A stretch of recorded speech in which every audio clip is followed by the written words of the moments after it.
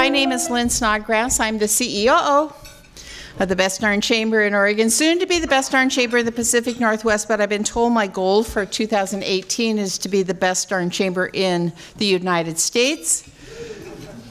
Um, I'm glad that I didn't commit to that before I had my review of. Um, I want to thank the, re, the uh, presenting sponsors that we have here today to allow this event to take place. Riverview Community Bank. Larry, you were the last to arrive so that I could point that out. Thank you very much for your sponsorship. We appreciate you. I also want to thank our stakeholder sponsors. There are two um, stakeholder sponsors, Portland General Electric and Gresham Barlow School District. Portland General Electric, John Maloney, you're here today. Thank you very much. This issue is really important to PGE. Regardless of the issue, though, they have been solid sponsors of the government affairs event. We uh, thank you for that. I also want to thank our media sponsor, Metro East Community Media, and Keith Thomas is here today. He has flyers that are out on the um, registration desk that show the rebroadcast on the back, so pick one of those up. Keith, thank you very much for the Metro East Community sponsorship. We appreciate you. And I also want, oh, you guys didn't applaud. Get me into trouble. I also want to acknowledge, as will you as well, the elected officials that are in our audience. Um, first of all, I'd like to acknowledge and thank our mayor, Shane Bemis, mayor of Gresham, for attending today. Mayor, thank you. And Commissioner Lori Stegmann is here with us today. Thank you, Lori. Thank you. Are there any other elected officials to school board or thank you very much? You wanted the Multnomah or uh, the community college and community college as well, right? Why would you come today? I mean, what what does cap and trade have to do with the community college? Don't answer that question because our speakers are going to. So there you go. Don't want to put you on the spot, but thank you for your service as well. And I want to also acknowledge our board members that are with us today, the chamber board members. Uh, first, I want to start with our new president for 2018, and that's Stacy Bloom of Skyland Pub. Thank you, Stacy. And our old president, Warner Allen. No, I'm kidding. Our, our past, past president, Warner Allen. President-elect from Transamerica Financial Advisors, Jim Hathaway. Jim, where are you sitting? Thank you, Jim. We've already recognized John Maloney. He is a board member. He's with Portland General Electric. John, thank you for being here and for being a board member. And I have two more. Corey Price of Gresham Grocery Outlet. Corey, there you are, Corey. Thank you. And one of our newer board members representing Adventist Health, Dave Chachuk. Where is he? There he is. Thank you. I hope I didn't miss anybody. What I did, I did. Oh, Dean Funk from PGE. He's not on my script, so he doesn't get announced. So.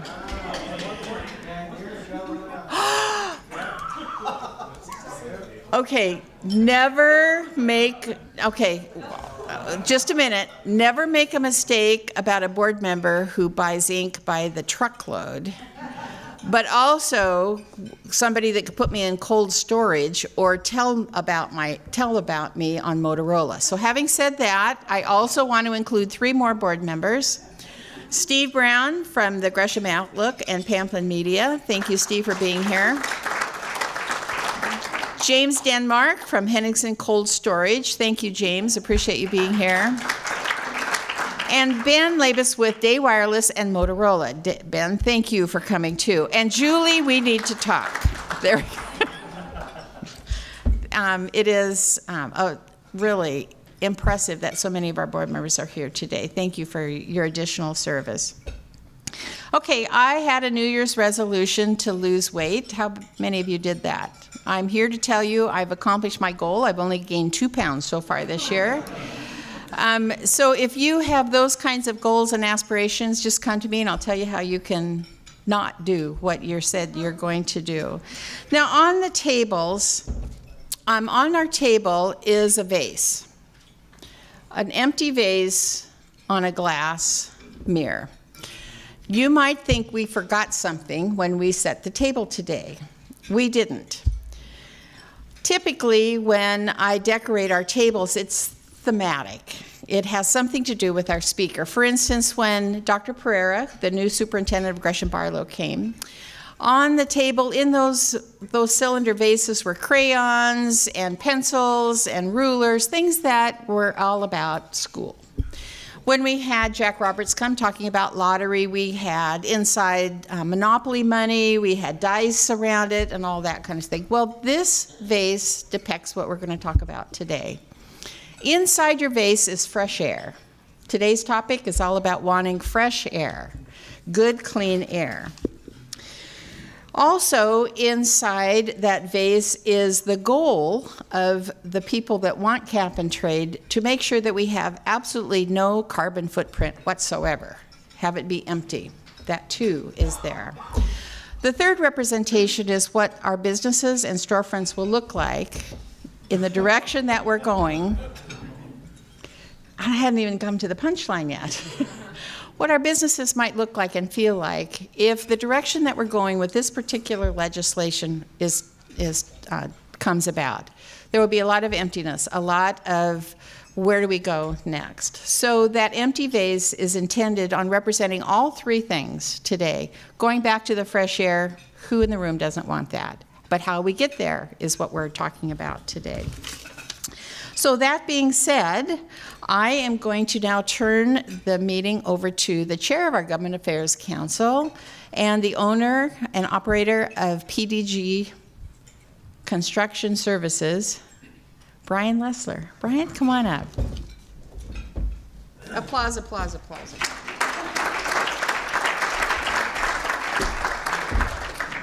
Thank you, dear. You okay? Yeah, am I okay? I don't know. These folks are going to let me know here in a little bit, right? Yes, I will. so I thought we were going to talk about Warner's lottery tickets today, but apparently we're going to talk about greenhouse gases and cap and trade. So I'm curious, um, how many of you in this past week uh, at your dinner tables were discussing cap and trade and greenhouse gases? Anybody? Look at that. I mean, seriously.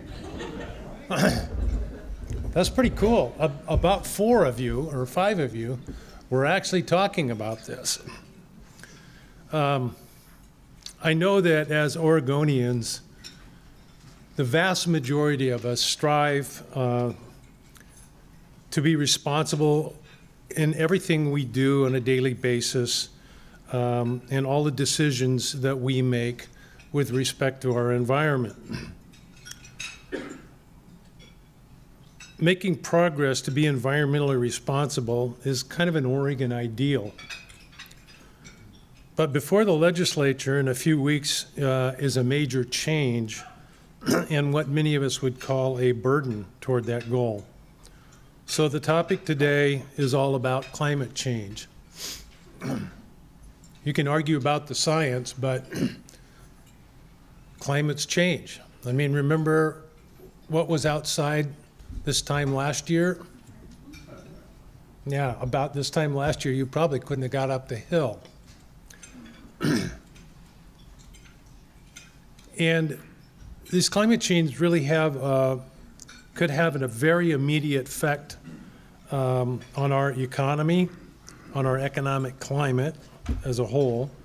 Um, and so today we have a couple of um, folks who are well versed in in the issues surrounding uh, this topic.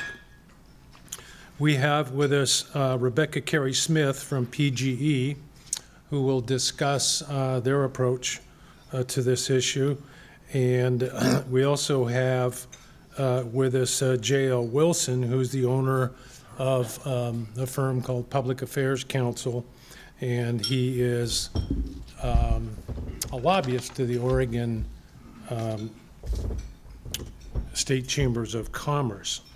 So first uh, up th today is JL, and JL, we would like to ask you to reflect on what is cap and trade and why should we actually care about it?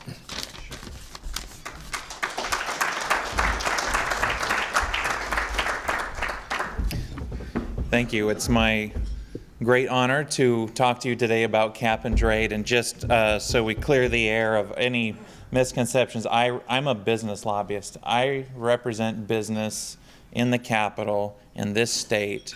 Um, it's never without its challenges. In fact, you could say it's probably uh, more adversity uh, than not uh, representing business in this state. But coming at cap and trade, I just want to be very clear. My clients oppose it. Uh, we don't support it. We think it's a, a, a, bad policy for where we are at this state at this point in time. And I'll, I'll do a little 30,000 foot view of what cap and trade is. And then I want to go into sort of our thought process and why you're going to see industries.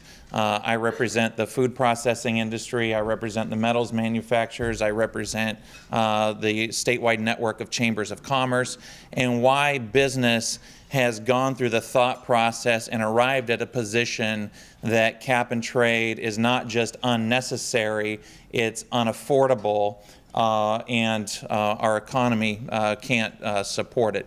And so I just want to lead you through, I just want to be very clear about how we approach that issue, where we're coming from, and so you can uh, view me in the proper context as I, as I make my uh, remarks about cap and trade.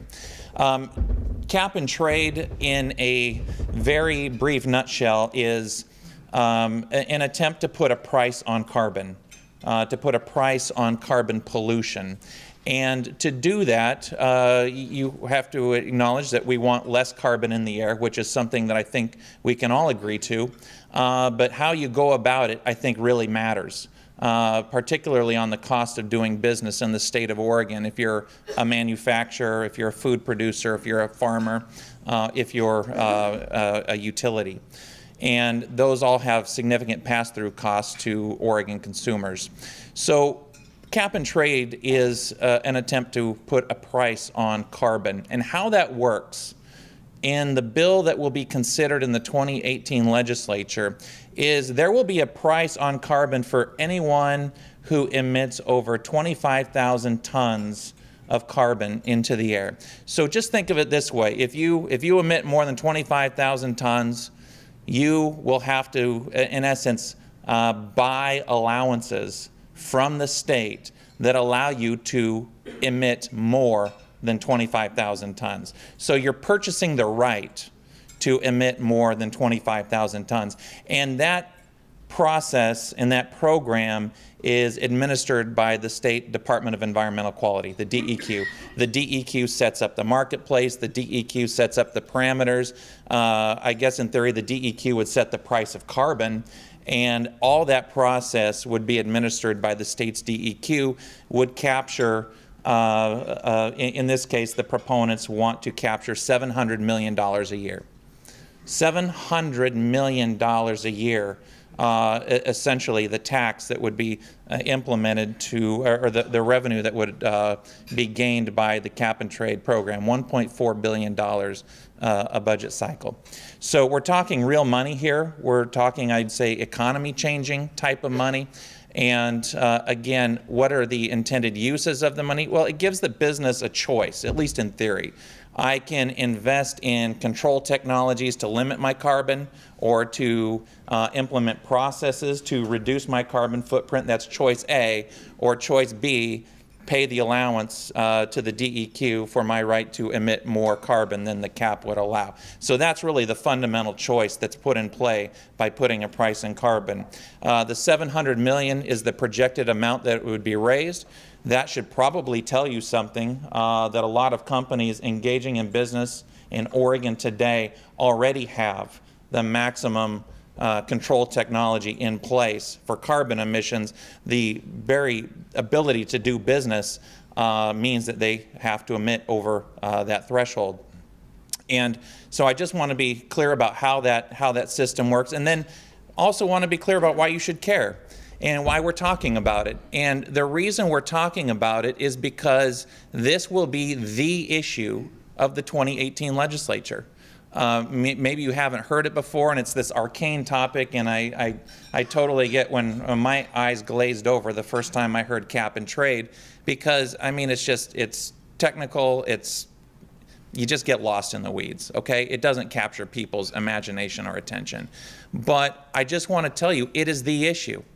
Um, it has been staged to be the issue in the 2018 legislature, and if it does not come to pass in the 2018 legislature, I can assure you it will be the issue in 2019 and 2020, and probably for the foreseeable future, uh, as long as there's pressure to exert this type of uh, system. So uh, that's the reason you care, because it's going to dominate the public debate uh, in Salem for at least uh, this this short session, which is coming to um, fruition here on February 5th. So let me talk about uh, the, the, the process that we've gone through to um, uh, look at cap and trade and why at least you'll see the business sector come to a determination that we are not going to be supportive of cap and trade um, uh, right now. You see, I want to talk a little bit about Oregon's carbon profile. This really gets to the question of what problem are we trying to solve. Uh, want to talk about California's job growth experience because, of course, we're only doing this because California is doing it, of course. And uh, I think learning from their experience will probably be instructive. Um, I want to talk about the problems with Senate Bill 1507 and House Bill 4001. Those are the two bill numbers for this session, the 2018. You're going to see Senate Bill 1070. I just haven't updated all my slides. Senate Bill 1070 was the old iteration, but we're all talking about the same thing. Uh, but the new bills this session will be Senate Bill 1507, House Bill 4001, and then some concluding thoughts. Um, here's, here's a little bit about Oregon's carbon profile. The first point I want to impress upon you is the issue of carbon pollution in this state is not really an issue of uh, the industrial smokestacks uh, that like to be presented as we, have got this runaway problem with, with carbon pollution in the states because we have all these huge polluting uh, industries in the state. Look at the carbon profile and look where uh, industrial is. Industrial represents 7% of Oregon's carbon emissions. You cannot have a discussion about carbon emissions unless you're really having a discussion about three sectors.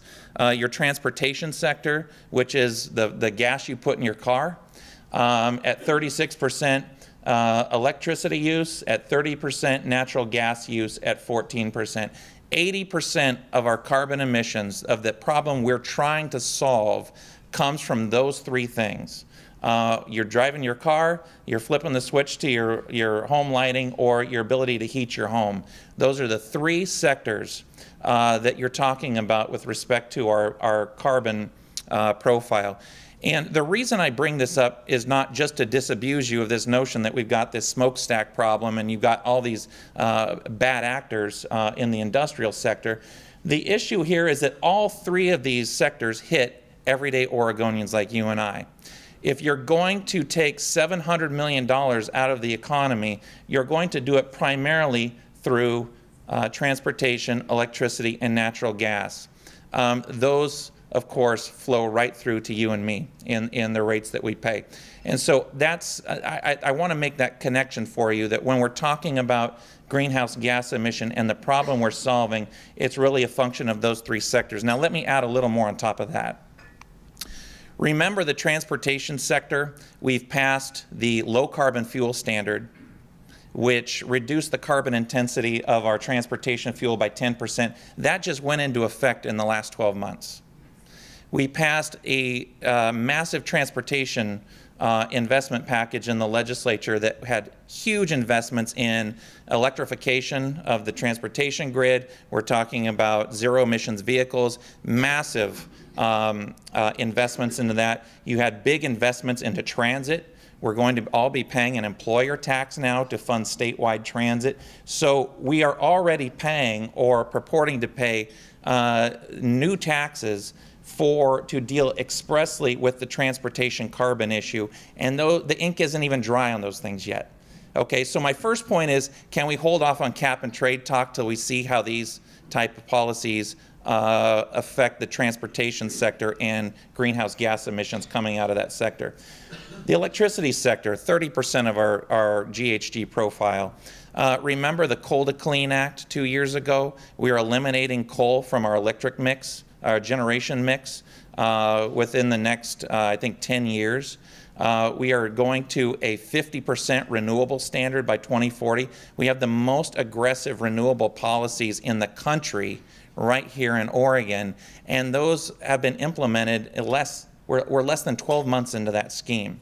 Would it not make sense to let the benefits of those policies start to unfold before you overlay a $700 million tax uh, on these sectors that, that you and I will pay? And then finally, uh, on the natural gas side, um, somebody smarter than me will probably have to talk about any new measures on the natural gas side, but I know in terms of transportation and electricity, uh, we've had very significant carbon reduction measures passed by the legislature that have yet to really been put into practice. Uh, and and um, to me, it speaks of the, the, the premature uh, nature of, of rolling out a cap and trade discussion. Uh, let's talk about Oregon as a carbon emitter. We have the sixth lowest uh, CO2 emissions per capita.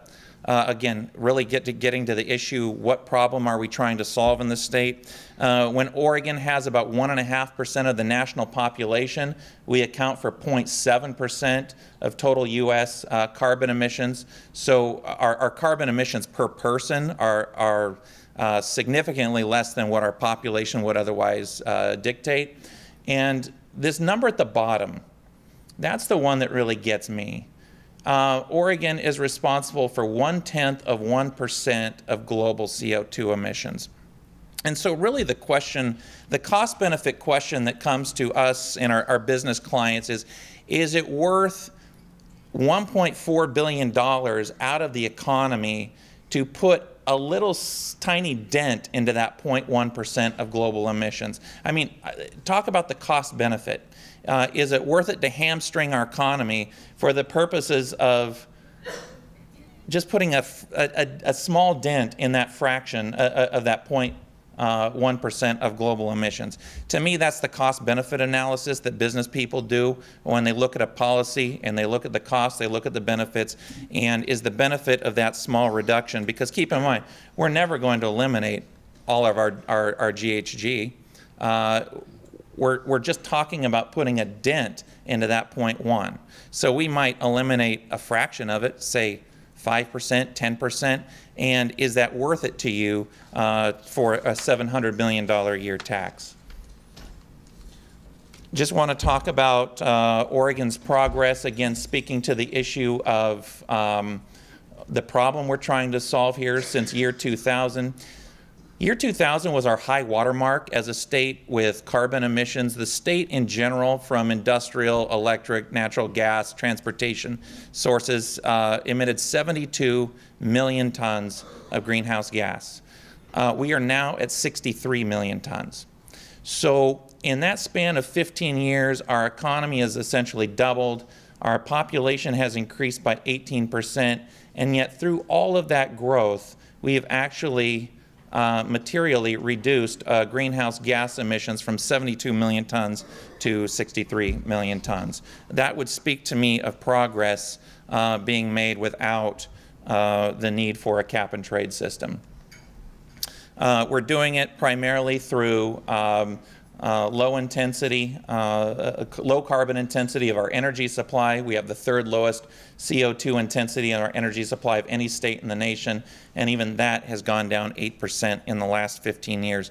And bookmark that lowest uh, state, state, CO2 uh, intensity of our energy supply, because I really want to come back to uh, the issue of okay, if not cap and trade, then what?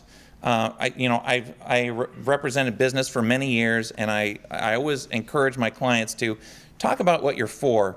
I, I can tell, you know, the great thing about representing business, largely they just want to be left alone, and so we we we can articulate in great detail everything we oppose.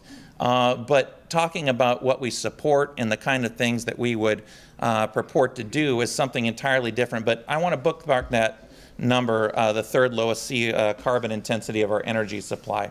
Uh, how is it being done? This is just one sector um, that I think is pretty indicative of how this will go and current trends in the marketplace.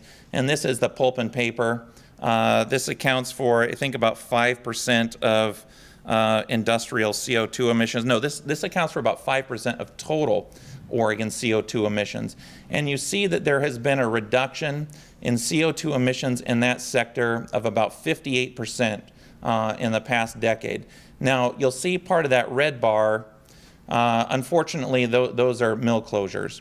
But the green bar is still less. In fact, it's 33% uh, lower from 2014 to 2005. And really, what we're talking about there is uh, energy recapture uh, with combined heat and power technology. And these are just, these are industry-specific things that are put into play because it's in the pulp and paper mill's best interest to recapture, uh, in this case through biomass, and to heat and, and generate power for their own facilities. And so these things are happening already without uh, a state cap and trade mandate. And th this is probably one of the largest um, uh, CO2 emitting sectors. And you can see even in the last decade, uh, there's been a phenomenal decline in CO2 emissions um, just due to uh, innovation, innovation in the industry. Uh, want to talk about California's job experience uh, under the uh, auspices of a cap and trade program. A lot has been said about uh, economic growth in California, uh, even with a cap and trade system in place. this illustrates, I think, pretty succinctly that manufacturing job growth in California has stalled uh, relative to national growth uh, under the um, uh, under a, a, cap and trade scheme. So national growth in manufacturing 8.5 percent, employment growth. California's growth in the same time 4.1 percent in the time that they've um, uh, had a cap and trade in state, and also uh, California unemployment rates by county really the California economy right now being driven by the Bay Area, not even so much in, in Southern California anymore. Largely the state has unemployment that is at or above national averages with the exception of the uh, Bay Area. Problems, uh, and these are just direct costs. When you talk about uh, a $700 million uh, extraction uh, from the private economy. Uh, I want to be very clear about what that portends for individuals and households. Uh, this is done through the economic modeling, through FTI Consulting, who has done the economic modeling for uh, industry in the state. Um, the average cost per household is going to be $600 to $1,500 per year. $50 to $125 a month. And when I talk about that, keep in mind I'm talking about three direct costs. I'm talking about transportation fuel, the price you pay at the pump. I'm talking about your electricity bill. I'm talking about your natural gas bill. So we can account for those three bills directly, uh, increasing by more than $50 per month. Uh, for the uh, average Oregon household. So between $600 and $1,500 a year in increased direct costs. This does not include anything with respect to indirect costs, uh, pass-through costs because uh, your food costs are higher, uh, because um, uh, the other costs that you incur are higher due to uh, the pass-through uh, in the economy. So these are just direct costs. Part of that is a 16 cent per gallon increase in the price of transportation fuel. This is immediately. Um, for shock value, I will tell you if you project this out over the course of 25 to 30 years, uh, where we anticipate a baseline cost per gallon of, of transportation fuel to be somewhere in the neighborhood of 4 to $4.50. Uh, 25, 30 years from now, it will cost $7.50 under a cap and trade proposal in 30 years. And then finally, the uh, $700 million annual tax. I don't personally know how the proponents will get to $700 million. I just take the proponents at their word that this is their goal that they want to reach. Um, but how, the, the amount of money that's generated by this program, I think it's safe to say is anyone's guess but you can look back in the Oregonian headlines and, and all the legislative material. The, the goal clearly is to uh, uh, collect $700 million per year. Uh, we're pro projecting significant uh, job declines um, uh, up to 5,000 on the immediate horizon. Uh, over time, that stretches to about 17,000. This will largely be in, in two sectors, manufacturing, one, as the industrial base uh, uh, moves out. You're, you're going to hear that commonly referred to as leakage. And then uh, the second, interestingly, is going to be state and local government. Uh, as, as industrial property tax bases, you're going to see significant job losses as we're projecting uh, in state and local government due to contracting uh, tax bases. Now, this bill is being called now the Clean Energy Jobs Act. Um, I suppose they I mean, I, we play this game all the time. You find a title for the bill that you think resonates and gets people's support. And I want to make clear there are some sectors that will see growth um, as a result of a cap and trade, construction being one of them. Uh, but the net, the net effect is going to be a job loss. So I do want to, you know, in, in some respects, you will have industries that will experience gains. On the whole, you will experience uh, a net loss. Um, this is one of the things, just from a process standpoint, uh, that would get me and I would hope would get you. And that is, you're, for the first time, you're, you're essentially giving a state agency the power uh, to implement and raise these taxes. And when was the last time you had recourse over the uh, DEQ uh, if they wanted to raise your costs? I mean, there's no one's accountable. Um, it's not like a, a, legislature or a legislator going back to you and they have to run for reelection every two years. But keep in mind, this program and the taxes that are implemented in this program are implemented at the agency level. And so we, we talk about uh, the costs incurred on your, your, your fuel, your electricity, and natural gas. Uh, these costs will be uh, implemented essentially a tax at the agency level uh, without a vote of the people, without a vote of the legislature. And, you know, and another feature is how the money is spent. Um, I suspect that there's probably no, uh, unless you had just an ironclad plan, I, I, know one of the failings of Measure 97 and, and all the others is, okay, what's the plan? You're going to get all this money. What is your plan? And that is not defined yet other than you do have uh, you know, committees that are put together that uh, involve, I think, groups that are interested in this money uh, will be in charge of spending it. And so I would probably insist on a little more accountability uh, on, the, uh, on the spending side. Um, this is the last point that I want to make, and this gets to the issue of, of something called leakage. And the issue of leakage is what is going to happen when you make the cost of manufacturing and producing a product in the state of Oregon so expensive that they decide to manufacture that project, uh, product elsewhere. And the issue, again, we, we, it's, it's, it's commonly referred to as leakage, but you see that um, green line there at the far left, that is the carbon intensity of Oregon's energy supply. And then you see every other state to the right of it that is a state where an Oregon manufacturer could possibly choose to locate or produce those goods. In, the, in food production, you see uh, production from Oregon going to Kentucky, to Georgia. Uh, for manufacturing, uh, heavy trucks, you see it easily going to North Carolina and South Carolina. And all of those states have a CO2 intensity in their energy supply that is sometimes four, five, six, seven times the carbon intensity of Oregon's energy. And so it really begs the question, what are we doing?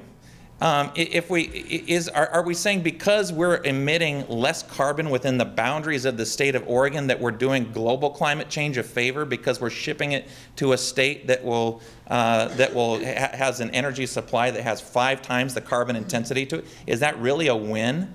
Uh, for global climate change? Or are we saying it's a win for Oregon because we can show on paper that our carbon intensity is less? And this is really the question I would encourage all of you to ask. Um, what exactly are we doing if our strategy is to push manufacturing into other states that have a much higher level of carbon intensity in their energy supply? Which really then gets to what I think our strategy should be and what I think our vision should be. And if, if I could assure a manufacturer that they could come here and we wouldn't uh, overlay uh, you know, ridiculous employment laws on them or tax laws or whatnot, I would go on a full throttle effort to encourage manufacturing in this state and to attract and recruit manufacturers from other states to come to Oregon because from a global environmental perspective, it is clearly the best thing to do. Now, what would it do for Oregon's emissions? Ah, well, Oregon's emissions probably would go up. But do you want Oregon's emissions high or do you want North Carolina's emissions high?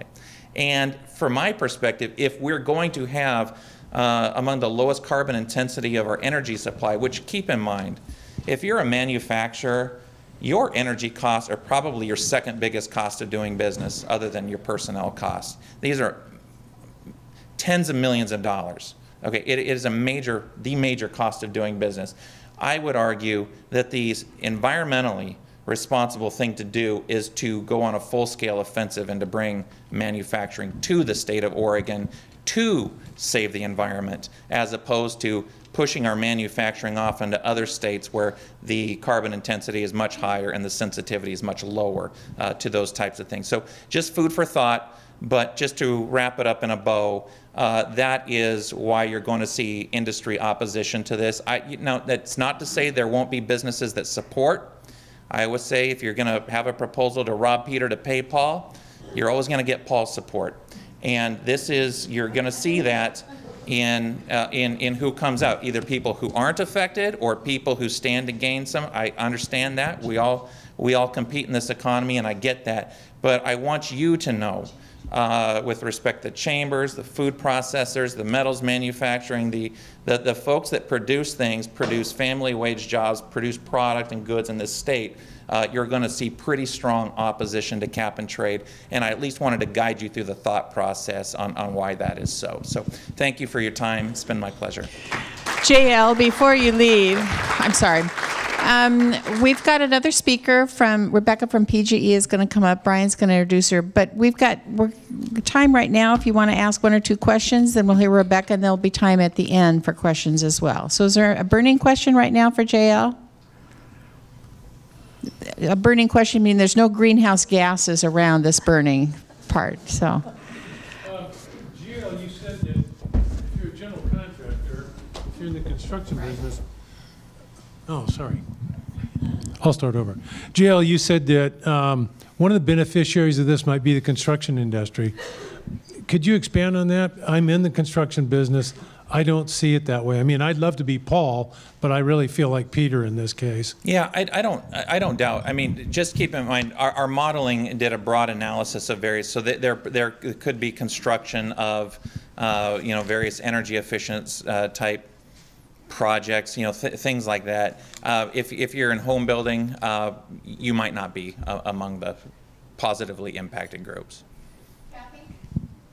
Is there anything in the bill to help large businesses transition? I had read somewhere that they were thinking about adding something maybe for, because of Intel. Sure. Um, you know, this is something, this is just, you mean, does everybody want to talk frankly here? I mean, th this is the part of, of buying off support. You, you, ha you have to, if, you're, if you come in with the premise that industry opposes, then you have to start picking off, okay, who can we get to support and what goodies can we give them in order to get that type of support? So you're going to see that this phrase come, uh, the uh, energy impacted trade, energy, energy intensive trade impacted sectors. Um, and so what, what can we do so that uh, they can pollute for free, essentially? And so you're going to start to divvy up classes of people, uh, and, and some will fall under the, the, the uh, you know, the uh, cap and trade scheme, and some won't. And, you know, part of it's done for economic reasons because you don't want food production to, you know, you don't want Boardman Foods to pick up and leave Boardman because who's going to employ people in that town, okay? So that's one consideration. But then the second consideration is a political consideration. Um, you know, who can we absolutely af not afford to have come in and oppose the bill? So I would, I would very much expect those discussions to be had in Salem with respect to, okay, who are we going to let off the hook a little bit? Uh, for economic reasons or for political reasons. And so it wouldn't surprise me at all uh, that, that, that, there will be discussion of, of those types of situations. And the last point I'll make, because I know Lynn wants to give me the hook, and that is if you're going to start giving stuff away, you're not going to hit that $700 million number that everybody wants to raise. And believe me, that money is already spent. Okay? It's like Measure 97. You know, we're all told it was a fait accompli, and that $6 billion was already spent. Uh, the week before election day because what a shock it was that it didn't pass. And this is a different. This is a same. This is the same song, different verse. Uh, there have been all sorts of promises made with respect to how that's money gonna, is going to be spent because you need different constituency groups to come in and say that this is a good thing and we're going to get the money. It's going to help with X, Y, and Z. Um, but you're not going to get it if you start handing out freebies. Uh, which is exactly the point you're you're making, and so uh, those discussions are very fluid. Uh, I, the, the, fact that um, I, I, don't think anybody's landed on any uh, specific proposal there yet. Thank you. Thanks.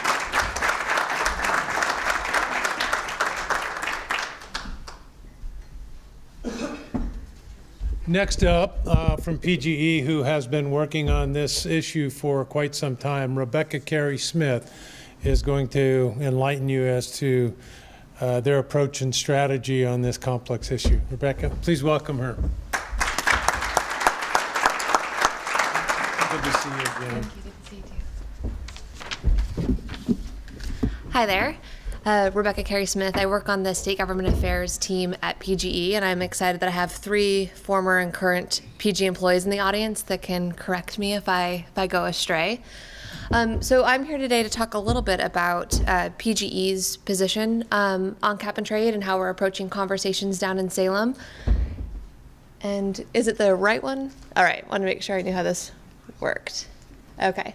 Um, so before we get started, I wanted to give a little bit of background about PGE and some of our clean um, energy future planning. I've condensed, I think, three uh, presentation of 30 slides into three slides, so uh, forgive me for being brief. Um, but quickly, PGE serves um, 51 cities and six counties in Oregon. So we're an Oregon headquartered, um, and we exclusively exclusively serve um, electricity in Oregon. And the grid has been uh, is changing pretty drastically and, and that's changing how we approach our planning processes and and um, how we deliver energy. So there's three quick things that i wanted to mention before we go into cap and trade um, that give context to how we're approaching the discussions. The first one is there is a there's a lot more technology than there's ever been um, in the electricity sector. So you know, 20 years ago, it was a lot of one way flow. There was generation out in rural areas, like our Boardman plant or our Port Westward plant that are in um, rural communities, and then we deliver it into our service territory. So one way flow. Now it's changed a lot. There's a lot more multi-directional flow that's um, come about because of changes in technology. So think about um, driving through Portland or Gresham, you might see solar on people's rooftops. They are producing solar for their home, but they might be directing it back into the grid as well. So um, multi-directional flow. Um, there's a lot more generation that's happening locally as well. So you'll see those solar panels. Um, you may see storage in people's homes um, so they can store energy. So it's not just rural areas bringing um, electricity into urban centers anymore. Much more multi-directional, and that causes um, differences in how we manage the grid. Um, there's a lot of opportunities. Um, there's also some um, issues that we will have to address as we go along. Um, so with energy management, there's opportunities because of that technology to save the amount of energy that we would otherwise use. Um, we project to, in our newest integrated resource planning um, proposal, to save about 250 megawatts of energy, which is the equivalent of a wind farm. Another thing that happened is that we joined the energy imbalance market, which linked us up um, to California and other states. And that's a big opportunity for our customers. So instead of perhaps turning on our plant at Port Westward, which produces natural gas to, to uh, it's a natural gas plant to deliver electricity, we might be able to buy excess solar from California um, and deliver it to um, our customers' homes, uh, which saves them money because it's cheaper to buy from excess solar that California would not be using than it would be to turn on our plant. So opportunities there. And the third one is more renewables. So JL mentioned that uh, Oregon has a 50% renewable standard. So by 2040, 50% of the energy that Portland General Electric will deliver will come from renewable, new, renewable, re, new renewable resources. Excuse me.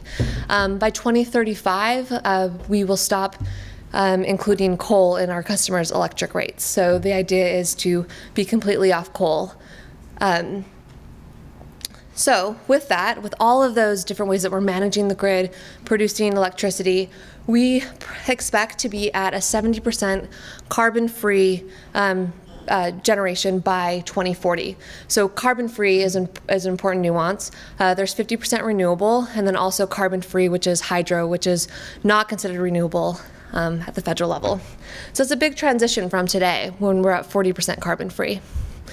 So thinking about cap and trade and thinking about how we're planning for our future, um, we've approached conversations in Salem and approached the work groups um, with a couple of key things. First is uh, climate change is real, and PGE believes it's a critical issue that we need to address. And PGE is committed to achieving our proportionate share of Oregon's greenhouse gas reduction goals. Um, second is we know that there are uh, our customers care about cleaner energy, renewable energy, and they care about affordable energy. So, how do we um, integrate all of those values together to, del- deliver the product that our customers value? Um, and third, I just lost my train of thought. I'm so sorry. Um, and third is that we, um, as an electric utility that's um, regulated by the state, uh, there are direct mandates that we have that are leading to investments, and those investments are leading to reductions in the carbon content of our electric supply. So, unlike a lot of other industry, um, we have direct regulation that is changing how we deliver our product. So, with that, we have three top priorities for the Oregon Cap and Trade Program if Oregon lawmakers decide that that is the best program for Oregon. There are five or six others attached that are um, that go beyond this, but um, cap and trade is a complex issue, and those other ones are more nuanced and complex. Um, but these priorities are as follows. Customers shouldn't have to pay twice for the same carbon reductions to the system. They shouldn't pay more than necessary, right? Second is that all PGE customers should be protected from unnecessary price increases. There shouldn't be winners and losers among our customer base. And the third is that the program should encourage um, switching to electricity as a cleaner energy source. So, what does that all mean? I will go into that. So customers shouldn't pay twice. So currently, um, there are a number of ways that our customers are paying for reducing carbon on our system. Uh, right now, they pay about a 7% public purpose charge on their bill. That public purpose charge um, raises money to fund energy efficiency and some renewables.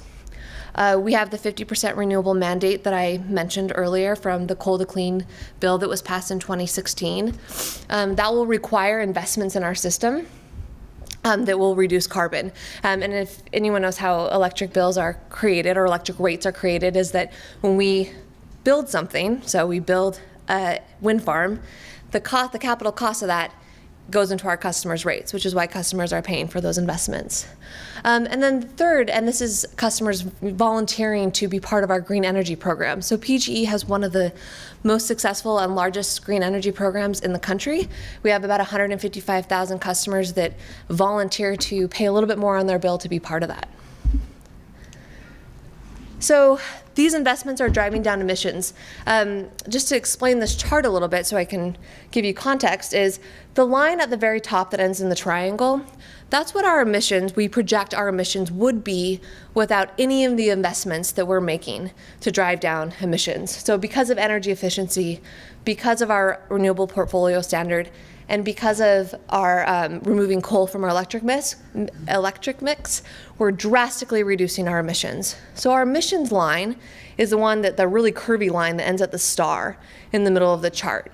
Now, with that, we only plan on a 20 year horizon, so this goes out to 2050. We don't know what our emissions are going to be in 2050 because we don't plan that far. But you can see that we're drastically driving down our carbon emissions. The lines that end in the star and the triangle, the line that ends in the triangle is the cap and trade goal. So by 2040, we're not that far off of meeting the goal that cap and trade is proposing right now. Um, by 2050, we, according to this chart, we're a little further off, but this chart assumes no new technology, no new regulation, um, no changes in the market power mix, which are unlikely scenarios. So customers are paying for those reductions in our system. So we don't think our cus- we think our customers should be protected from um, unnecessary rate increases. And actually, before I move on, I'm going to explain a little something so to provide some context. So the way cap and trade works is, and I know JL touched on it a little bit, is that about 100 companies would be part of the program, and there's a cap, right? So the cap, think about the cap being that line that ends in the triangle. There's a cap that the state sets, and the cap goes down over time. If you're an industry that emits more than 25,000 tons of CO2, you have to buy a permit for every ton of carbon that you emit, right? Not a, not a permit for every ton above the cap, a permit for every ton of carbon that you emit.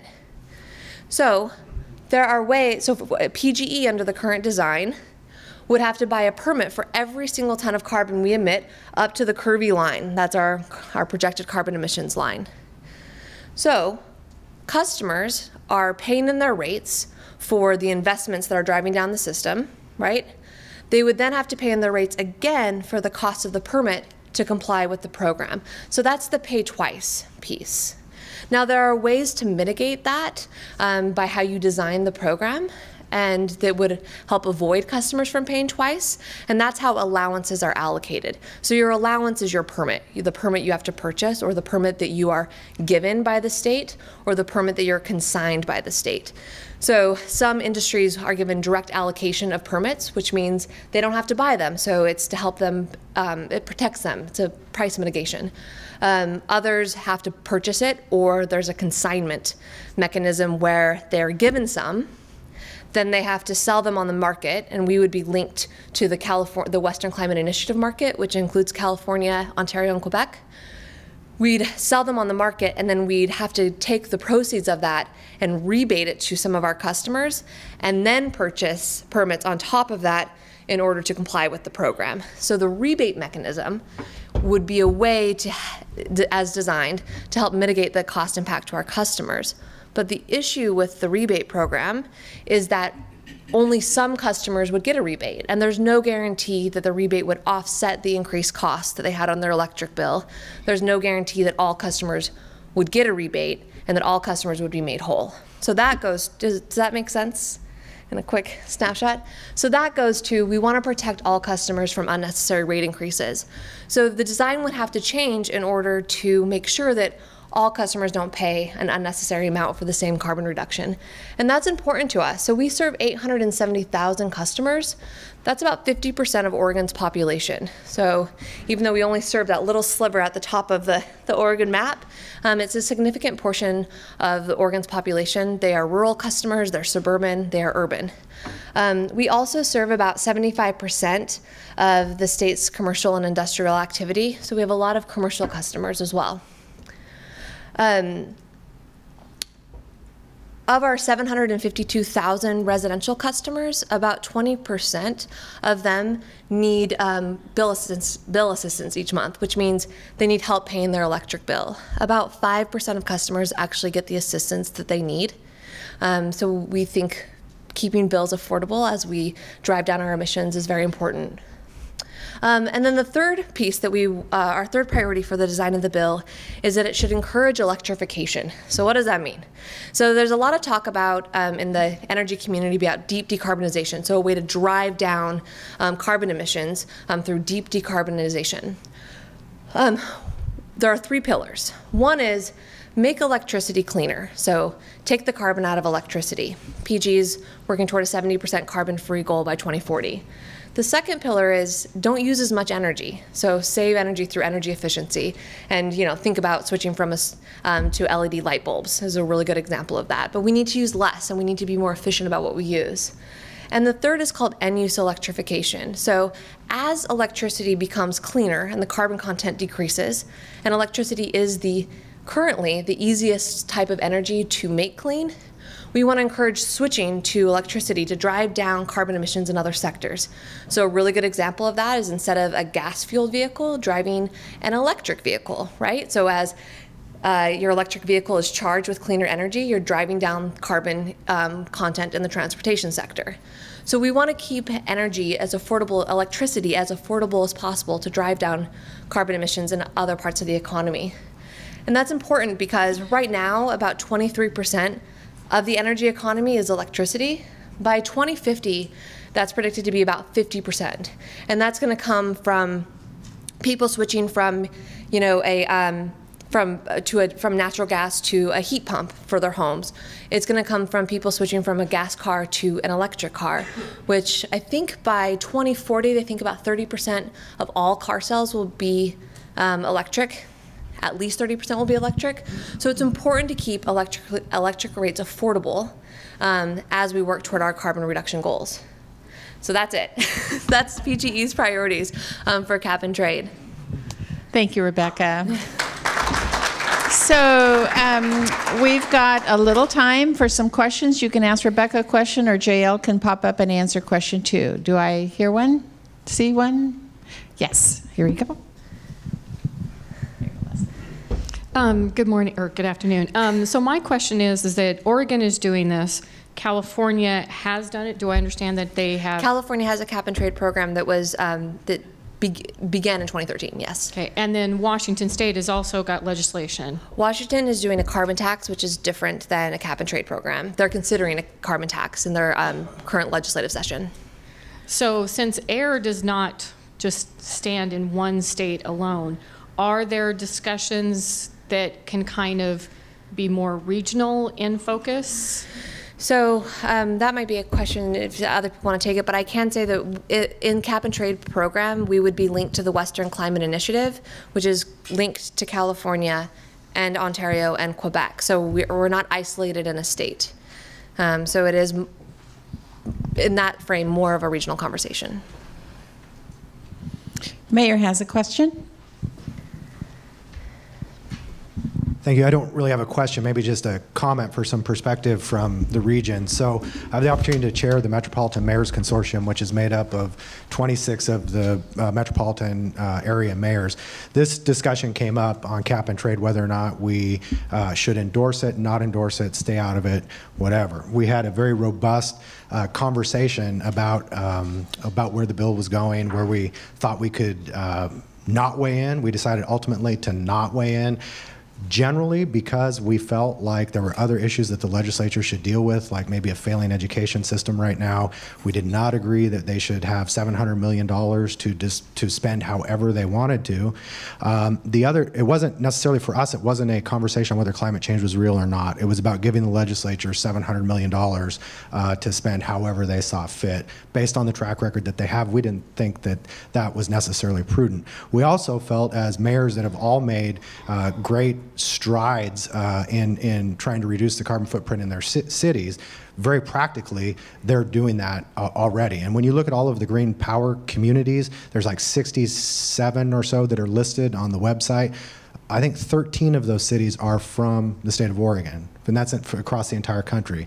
So we are doing a lot uh, uh, on this topic already, and we trust, the mayors felt that they trusted the business community to make the right choices, make the right investments, particularly business people understanding um, return on investment. And if they invest in some of the technologies that have both been iterated today, that the return will pay off and have a better uh, uh, return for their ratepayers. In Gresham, it's been almost a million dollars a year savings just on what we've done at the wastewater treatment plant. So we felt like we're moving the ball forward and business is moving the forward. If we leave business alone, they're going to be fine.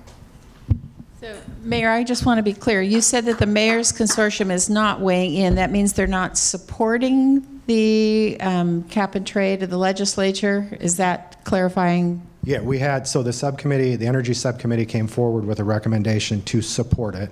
Uh, The broader group decided not to support it, which was immediately followed by a motion to support it, which did not pass either. So we're just staying out of it. We felt that um, we're a very new group, and we felt that we need to stay together, and this wasn't one that we thought we would break our pick off on, that um, each individual mayor and their community can speak to what they've done or been able to do, um, and have that conversation based on their own uh, city council or, or perspective, so. Thank you for that clarification, clarification, and thanks for saving us a million bucks every year. That's a pretty cool thing. Sue?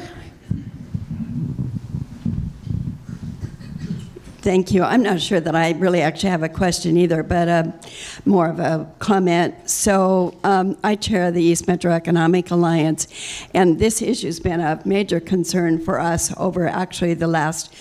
I'd say three, or four years, we've been gradually becoming more and more educated. And this particular measure really is a major impact for our particular area. The manufacturing that's here, our food industries, and even those that are impacted because of the number of trucks that they have. So it is serious because this could be a major detractor for doing the kinds of things that we still want to see happen here with our available land. So, yes, we uh, out in our area we need to pay real attention to this. So, and I appreciated you've been here a couple times to talk uh, from PGE, and it's been really interesting and informative. Thanks. Another question or comment from anyone here? Brian has one.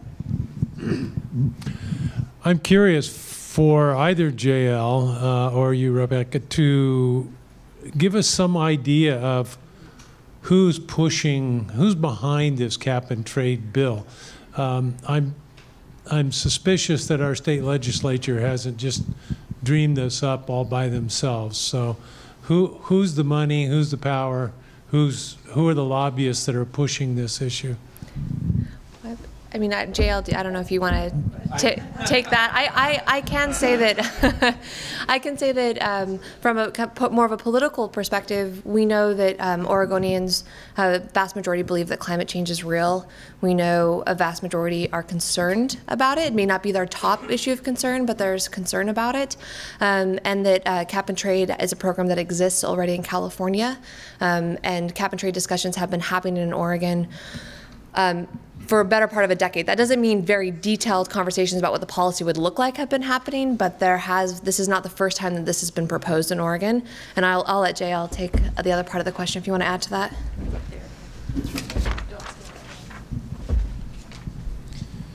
The, the question is who's, who's pushing it and where did it come from?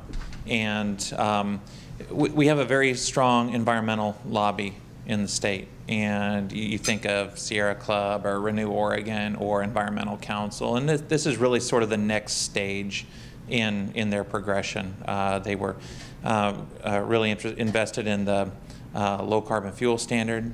Uh, then they moved on to um, uh, the coal to clean, and this is sort of the next stage in their progression.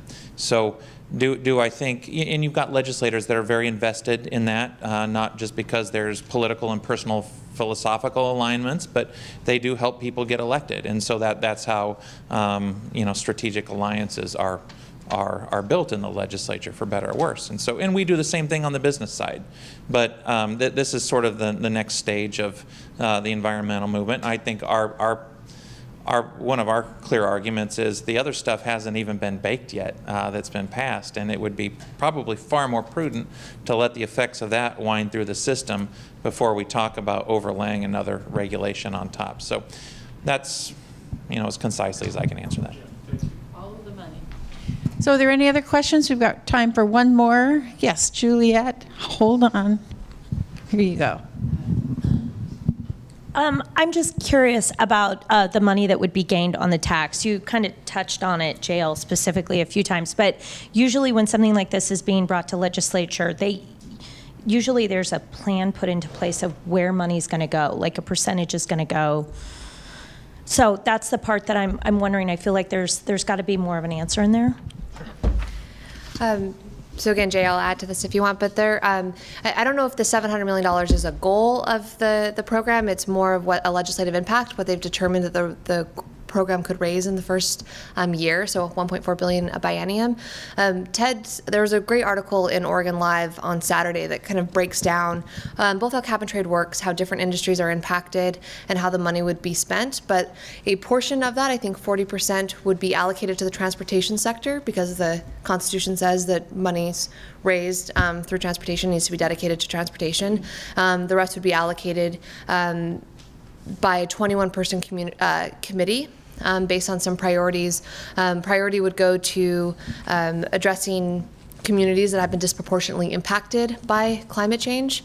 Um, so it's pretty open right now, but there is in the bill some overarching structure, um, but there's a lot of questions that remain about how it actually would be spent and, and what the bill means by some of the words that it uses. You gave me an awesome segue to make something, say something I wasn't going to say. Um, you, you, a tax requires a supermajority of the legislature to pass it, three-fifths majority. Um, you can bet your bottom dollar that the business community is going to challenge a cap and trade program on that grounds, uh, that, that it's not going to be paid, that is not going to be uh, uh, pass the constitutional requirements of a three-fifths majority to pass the, both the House and the Senate, because there's no way they're going to get there. Um, uh, we've got very strong legal arguments that this is a tax. You're basically taking $700 million and spending it. And, and so how legislative counsel, which is the legislature's lawyers, determined it wasn't a tax is, is kind of beyond us. But the reality is we're going to bring up that argument very uh, loudly. So that, that, that's one thing. And then with respect to the money, just I, I just always get a chuckle when you say, well, this is the clean energy jobs bill because we're going to spur this big industry that wouldn't otherwise exist without subsidies. And but before we spend that money, we got to give money to pay for people's energy bills who can't afford them. So we're going to break off a chunk of the money to do energy bill assistance.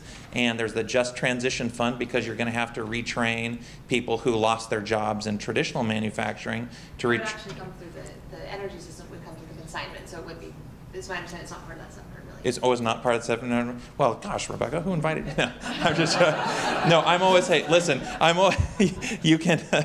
facts matter, and so uh, you know, cancel everything I just said.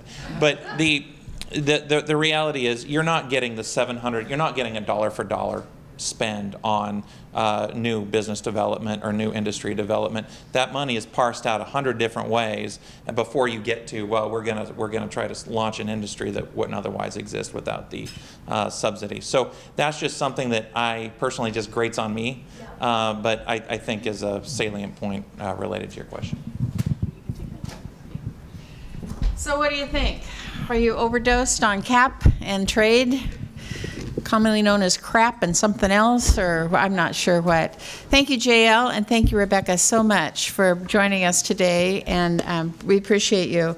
Uh, one thing before I go into my thank yous, um, I can't remember if it was JL or if it was Rebecca, referred to there are 100 companies in Oregon that are going to be affected. Microchip is one of them. Um, they're in our backyard. They are um, they are what college students at Mountain Community College aspire to go and be hired from.